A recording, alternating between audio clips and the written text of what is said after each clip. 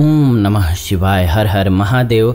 ये बेहद ही खास सोमवार है। आज के दिन, यानी कि 27 तारीख को, जो लोग भी शिव जी की आराधना इस प्रकार से करते हैं, जो कि हम आपको विधि बताने जा रहे हैं तो जीवन से सभी परेशानियाँ दूर हो जाती हैं, सभी कष्ट मिट जाते हैं और मनोवांछित फल प्राप्त होता है। सावन का ये सोमवार बेहद ही खास है। आइए पहले पूजा विधि जानते हैं, फिर इसके बाद जानेंगे हम सभी कि इस दिन कौन से खास मंत्र का जाप आपके लिए शुभ रहेगा। सावन, सोमवार, सबसे पहले व्रत की पूजा विधि जान लीजिए। सबसे पहले तो सुबह सुबह जग जाइए, इसके बाद स्नान ध्यान कीजिए और स्वच्छ हो जाइए, बिल्कुल। इसके बाद साफ़ कपड़े पहनिए, यानी कि पहले से आपने साफ़ जो कपड़े रखे या न्यू कपड़े रखे हैं, उसको आज के दिन पहनिए और इसके बाद पूजन स्थान की सफ़ाई कर लीजिए अच्छे से। भगवान शिव और माता पार्वती की तस्वीर या मूर्ति को गंगाजल से पहले साफ़ कीजिए। गंगाजल घर में ज़रूर रखना चाहिए। इसके बाद जल पात्र में गंगाजल मिला हुआ पानी भर लीजिए। यानी कि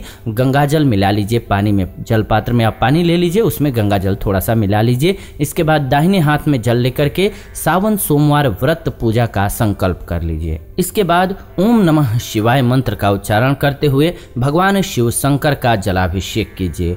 उनको अक्षत, सफ़ेद फूल, सफ़ेद चंदन, भाँग, धतूरा, गाय का दूध, धूप, पंचामृत, सुपारी, ये सभी अच्छे से अर्पित कीजिए। इसके बाद कम से कम बारह बेलपत्र शिव जी को ज़रूर चढ़ाइए। बेलपत्र चढ़ाते समय ओम नमः शिवाय नमः शिवाय मंत्र का जाप ज़रूर करते रहिए।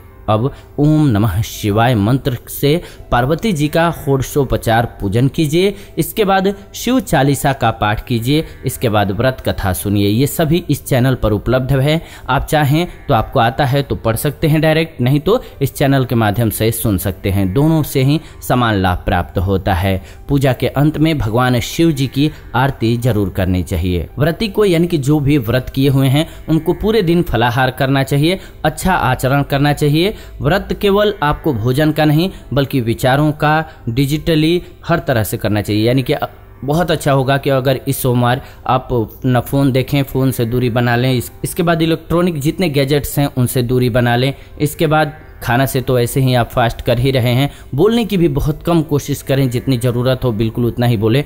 तो हर तरीके से डिटॉक्सिफिकेशन हो जाएगा, आपके लिए बहुत अच्छा रहेगा। संध्या के समय शिव पुराण का पाठ कीजिए और संध्या आरती कीजिए। इसके बाद प्रसाद वितरित कीजिए और स्वयं भी ग्रहण कर लीजिए। इसके बाद पारणा कर लीजिए। पूरे दिन तक व्रत करने में सक्षम हैं, तब तो अच्छी बात है। आप अगले दिन पारणा कीजिए। अगर सक्षम नहीं हैं आप तो सूर्यास्त के बाद पारणा कर लीजिए। अगर आप बीमार हैं तो सूर्यास्त के बाद पारणा कर लीजिए, आपके लिए अच्छा रहेगा। कुछ स्थिति में व्रत न करने की भी सलाह दी गई है, जो कि हमने इस चैनल पर बताया हुआ है कि कौन कौन सी ऐसी स्थिति होती है जब व्रत करने से परहेज करना चाहिए। तो उन नियमों का पालन करें, जैसे कि बहुत बीमार हो या बच्चा हो तो उस स्थिति में नहीं देखा जाता है, विशेष परिस्थिति में। नहीं तो लगभग सभी को व्रत करना चाहिए, इसका फ़ायदा होता है। ये आज की वीडियो रही। ऐसी ही नई वीडियो के लिए चैनल को सब्सक्राइब कर लीजिए, बेल नोटिफिकेशन को ऑन कर लीजिए, ताकि नई वीडियो जब भी लाएँ नोटिफिकेशन आपको सबसे पहले मिले। साथ ही साथ वीडियो को लाइक शेयर और कमेंट ज़रूर कीजिए। मुझे बहुत खुशी मिलती है। फ़िलहाल विदा लेते हैं आज के इस वीडियो से। जुड़ेंगे नई वीडियो में। तब तक आप सभी खुश रहें, स्वस्थ रहें, प्रेम से कमेंट में ज़रूर लिखें। ओम नमः शिवाय। हर हर महादेव।